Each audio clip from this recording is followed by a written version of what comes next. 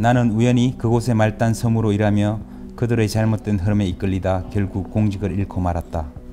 참으로 형편없는 정부, 형편없는 사람들과의 만남이었다.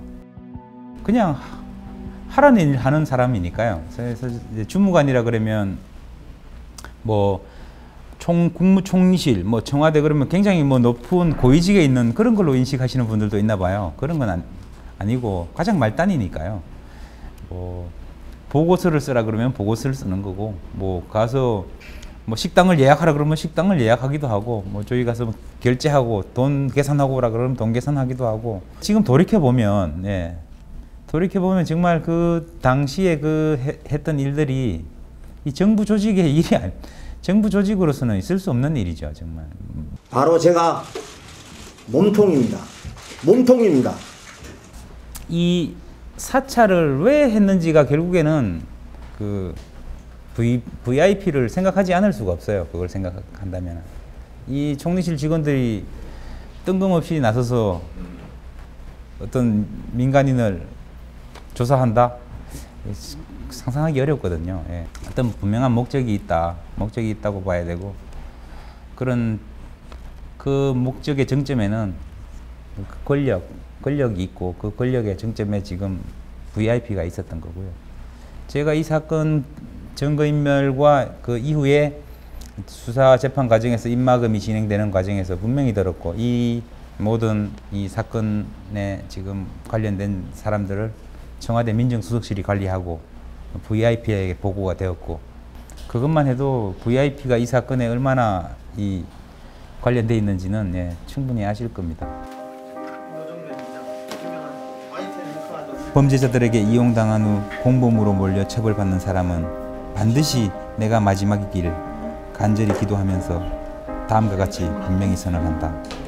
나는 결코 MB 정부의 사악한 불법 사찰과 증거인멸의 범죄자들과 공범이 아니다.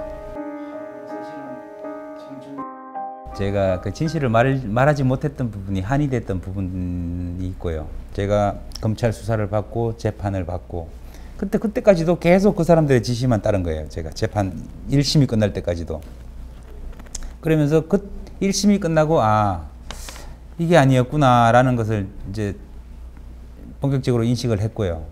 이대로는 얘기 안 하고는 지금도 아마 그렇게 폭로를 하지 않았다면 뭐 지금도 계속 그런 갈등과 고통 속에서 살고 있겠죠. 지금 어딘가에서 무슨 다른 직장을 그 사람들이 뭐 마련해 주는 것을 예, 수용해서 대충 뭐 살아가겠지만 그 마음속의 고통은 그 없어지지 않았을 거거든요.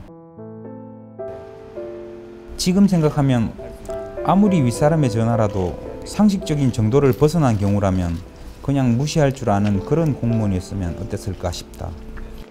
저는 장진수 주무관이 한국 사회에서 굉장히 소중한 사람이라고 생각해요. 그래서 장 주무관이 정말 제대로 그 대접받고 평가를 받고 어 정말 물질적인 어떤 제대로 된 그 삶을 살지 못하는 사회는 저는 온전한 사회가 아니라고 생각해요.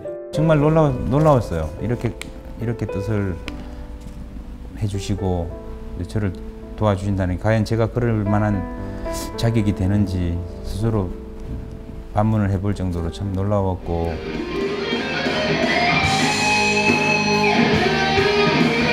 이 사건에 대한 경각심이 있어야 됩니다. 이, 이 사건을 기억해야 되고 그럼으로써 경각심도 가지고 그래야지 권력자들이 함부로 그렇게 하지 않죠.